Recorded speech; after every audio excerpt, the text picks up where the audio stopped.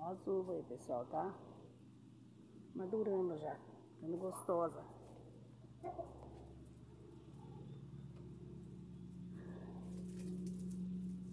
É dois pés de uva que tem aqui.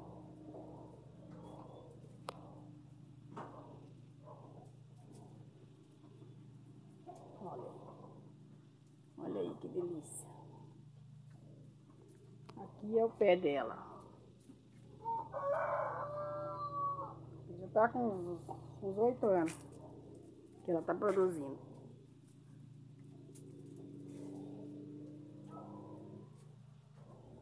Aqui é outro pezinho mais novo. Esse aqui deve ter uns 4 anos mais ou menos.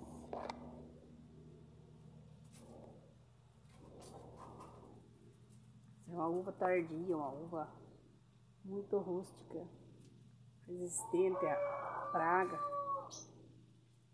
Ela não é resistente aos passarinhos.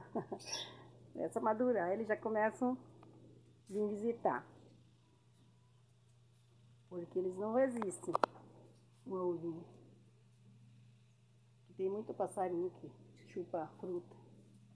Mas graças a Deus a gente sempre tem, deixa sobrar umas para eles. Eles também precisam, né?